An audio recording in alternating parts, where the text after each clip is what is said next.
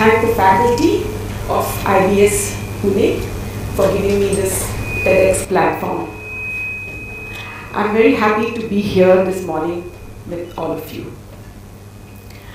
Hi, I'm Rasika Reddy and I'm a horse breaker and a horse whisperer. Essentially, what I do is I'm a kindergarten teacher for horses. But before we get to all that, I want to tell you a little story about how a woman like me, 20 years back, gets to becoming a horsebreaker. So let's start right at the beginning. I was born in 1967. Okay, stopped the mental gymnastics. I'm 57 years old. Uh, my father, Major Sharad Kane, an army man, and my mother, Kavita, they gave my sister Sangeeta and me an absolutely wonderful life. A solid education, lots of opportunities, and most importantly, uh, the belief in ourselves that we could do and achieve whatever we had set our hearts on. I started riding, luckily, at a very early age. The first time I ever got on a horse was when I was six years old. But I remember it like it just happened yesterday. That dark color of that pony, and her name was Jungle Queen. Uh, I really felt like I was in heaven, born to be in that saddle. When I was around 12 or 13 years old, I had a bad crash of a horse during my riding lessons. Um, my mother rushed me to the hospital. Uh, it was discovered that uh, I have broken my tailbone. I was in a lot of pain, but all I could think of was how am I going to get to the riding school tomorrow? And that's when I heard my, uh, the doctor tell my mother that, um, ma'am, you have to keep this child in bed rest and very far away from those horses. And I nearly died. I thought this is end of life as I know it. But you know what my parents did? They never kept me away from those horses because they knew what that meant to me. And I think at that point of time, they gave me the roots to grow and those wings to fly with. Well, I didn't know it back then, but my absolute all consuming passion for horses was actually going to be a catalyst for practically all the major milestones in my life. Uh, when I turned uh, 21, I was introduced to my husband, Dr. Ravi Reddy, who is a veterinarian who specializes in breeding horses. Now, what are the chances? What luck, right? But ours was an arranged marriage because of horses, right? Well, um, we got married in 1988 and uh, I moved to Bangalore where my husband and his family, they ran a stud farm. There, of course, you know, I helped my husband with his veterinary practice. I rode horses on the farm with my father-in-law. I learned to cook from my mother-in-law and life was going on. And then in 1992, we became parents to our son, Arnav. Well, at this point, life was carrying on pretty well. But then in 1994, it took a very sudden, sharp turn. And uh, this is where the next stage of my life starts. My husband took up a job offer to come to Pune and run a stud farm here for a gentleman called Mr. Dhanji Boy. Well, this farm was, this new farm was very modern for its time and the first farm in India to start uh, breaking in young horses on the farm before they were sent off to the racecourse to their trainers. And me, on my part, um, started riding those young horses as a part of the breaking in process. Now, we had one professional rider who was working with us over there, and he told me that uh, I should ride on the racetrack because he thought that I had what it took to ride over there. So that is what I did. In 1996, I applied for my license to ride as a track work rider on the Pune racecourse. Now, what is track work and what is track work rider? Track work is the exercise and the training that is given to horses on the racetrack to get them ready for the races. And, uh, and the person who carries out this work of riding is called a track work rider. So that's what I started doing. And then the jockeys, they ride them in the actual races, right? Well, you know, race horses can be very highly strung, they can be very mercurial, and um, in the process of riding them, you can have accidents. So I've had my own share of accidents. Um, but I wear these broken bo bones as a badge of honor because I really do believe that you have to be very privileged to ride a horse. Well, in 2001, after five years of being a track work rider, I decided to apply for my jockey's license to ride as a professional jockey in the races. I sent in my application to the race club. They accepted it. And I had to go through the due process of riding in four test races, or as we call them, mock races. I did go through that process. But here, my friends, I would have to tell you that I never got that license. That license was denied to me. Well, the senior steward of the club called me up and over the phone he told me that he can't give me the license. I asked him why. He wouldn't tell me. Um, I asked him to give it to me in writing. He wouldn't, he refused to do that. You know, at that point of time, if he had just told me that uh, you don't make the cut professionally, I would have agreed and gone home. But even that didn't happen. But what I did get to hear from the grapevine, of course, is that this is happening to me because I'm a woman. I am a wife, a mother, and this race riding is way too dangerous for me. Okay? Well, yes, being a race jockey is a dangerous profession. We all know that. We've had jockeys, jockeys have lost their lives riding on the racetrack. They too were sons, husbands, fathers, breadwinners for their families. But this can hardly be the reason that you can give professionally to somebody for denying them a vocation that they choose for themselves, right? Well, that's what I thought. But what do you know? Here I was, hands tied. Uh, I had worked very hard to achieve this dream of mine. Um, I had brought my weight down to 47 kilos. You have to be a certain weight and a certain size to ride uh, as a jockey. Well, um, I was actually very devastated at this point of time, so much so that um, I was so depressed that I couldn't even drag myself out of bed. I felt like a huge cloud had fallen over me. I felt really manipulated. I felt humiliated through this process. And um, the press, um, well, they were asking questions because they had been uh, following my journey and reporting on it and waiting for me to ride my first race. So when they asked me, I couldn't tell them anything. And the club, they wouldn't tell them anything.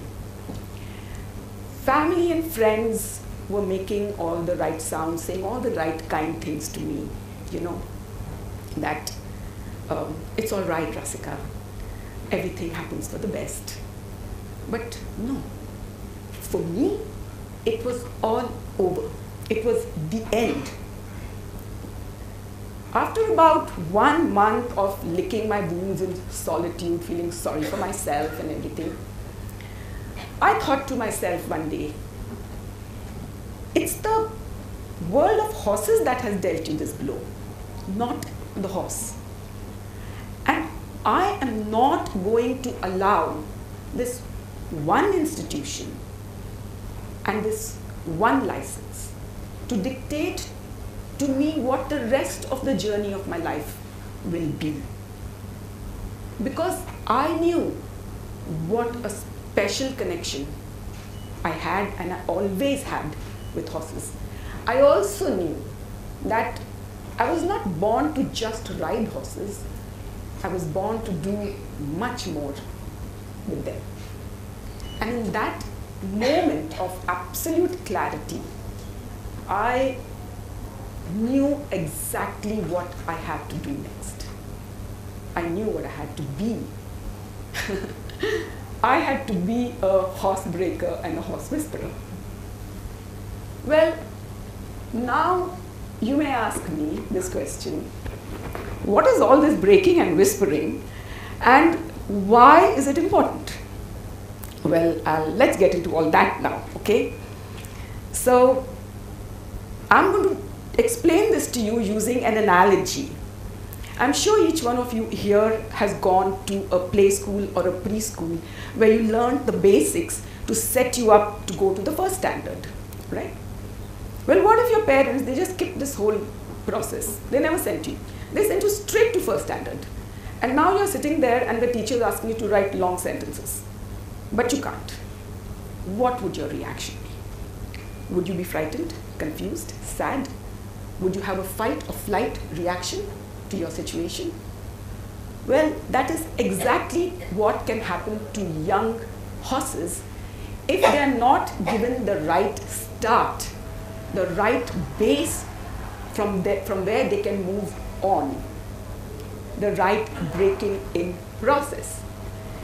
If you don't, if you don't um, if you don't go through this process with them, or if you mess up this process with them, you could actually end up having horses that are dangerous to themselves or to their handlers and their riders.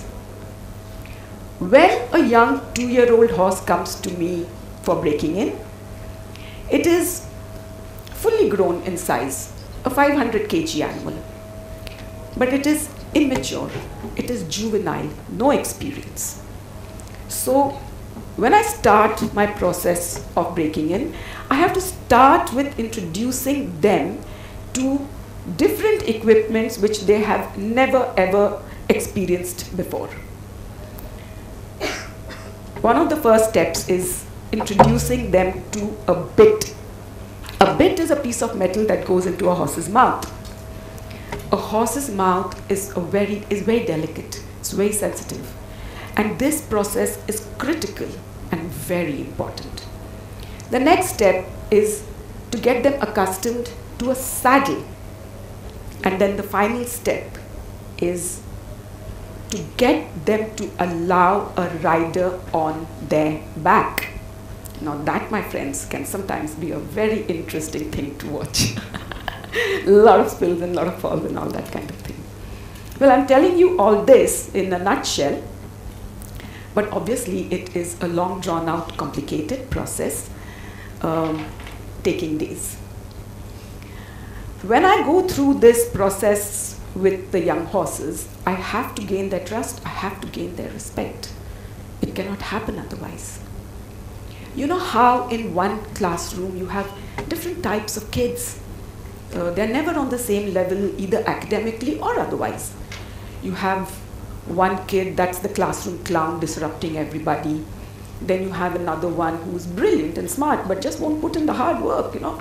Then you have another one who's a little timid, another one who's not so timid. Well, in Horses, young horses, it's exactly the same. In one group of horses that I get at a time, you have so many different characters and individuals. And I have to make sure that I don't treat each one exactly the same. No cookie cutter process. One style fits all. Doesn't work. You have to change up your method, your technique.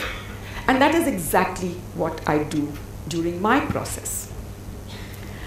Well, now coming to the horse whispering part of it. There's a gentleman from America called Mr. Monty Roberts.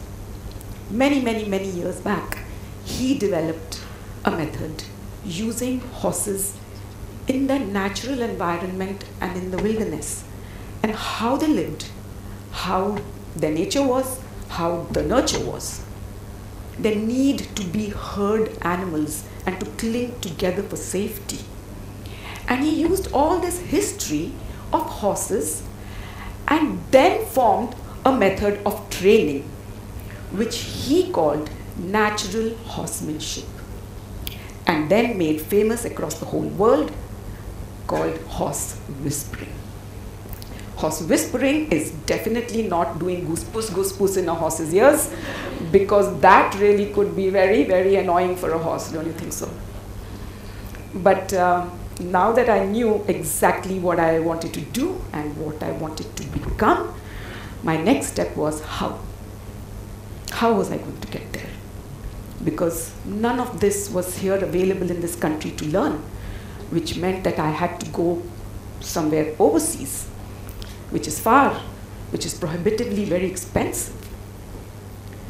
And of course, the other thing, leaving behind a 10 year old, a house, home, husband, was never going to be easy. It was always going to be a challenge. And I was finding different ways and methods of trying to get over all these hurdles. And sometimes I would really think that, am I going to get there? Is this ever going to happen? You know?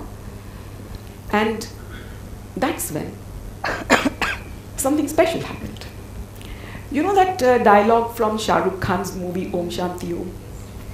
Sorry, Shah Rukh, but I'm just going to try.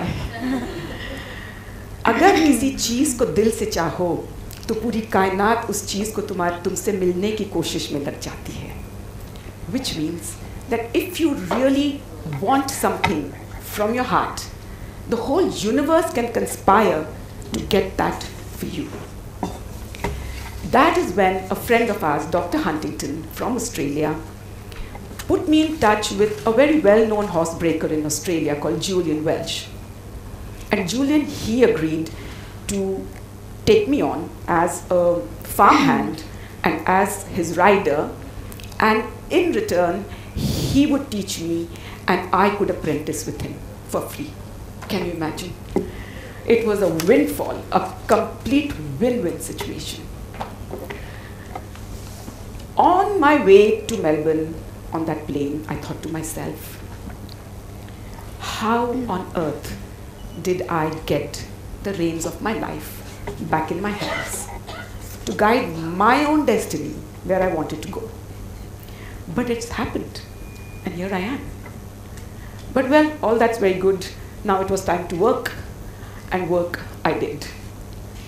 There in Australia, the world of horses is a bit different from here in India. You know how in India we have lots of people to do lots of things for us, and the horses, of course. But out there, there's nobody. You have to do every last thing for yourself.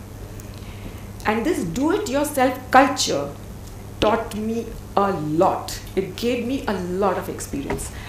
I got to work with horses hands on, one on one, deal with different types of horses in different situations. And that gave me the confidence. And that is when I knew that I could really do this job. I could deliver on this job. When I came back to India, I came back with the confidence that, yes, you know, that confidence that comes from jumping through hoops and going against all odds. That, well, when I came back, I really hit the ground running because that very first year, I um, registered my company, Basque Training Center. The same year, I got my first contract to break in horses for a stud farm. owners and trainers, they showed interest in my work. They gave me their horses to train. You know what uh, my uh, team and me, we do is never something that hits the headlines. We are never the ones in the winning circle holding trophies and you know all that.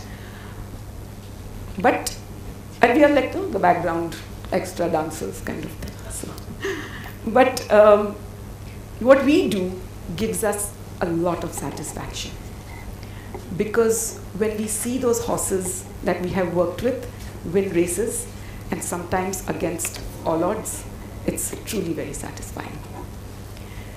Um, I, I really do believe that um, if you convert your uh, passion and your dreams into your life's work, the chances of true happiness and success are very, very high. As I told you, horses are like 500 kg animals, but you don't need to be a brute sized person of brute strength to, to deliver the work with them or train them. What you need is sensitivity, understanding, and of course, the right technique. And I have developed my own technique over the last 20 years, and it's my life's mission to teach this technique to as many people as possible so that these beautiful animals can be treated with dignity and care. I have a lot of young people who come and work with me, who apprentice with me, and who learn. And I do hope that they carry on this good work even I, after I have hung up my boots. Uh, mine has been a very wonderful journey. And through that journey, I have met very interesting horses. And I think those horses have been a huge part of who I am today and why I am here today.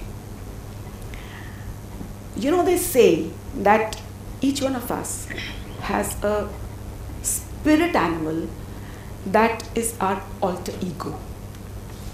Well, do you know why I think my spirit animal is? I truly believe it is the Pegasus, that horse with wings.